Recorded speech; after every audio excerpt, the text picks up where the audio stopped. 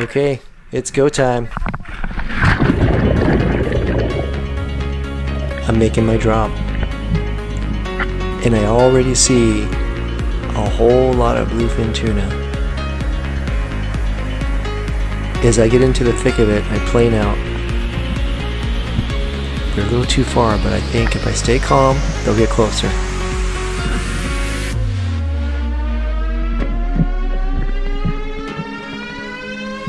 These guys are close, but moving too fast.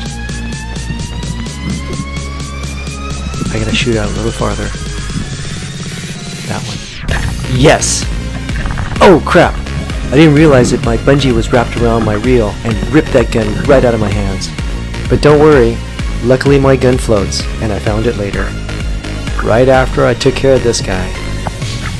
So awesome.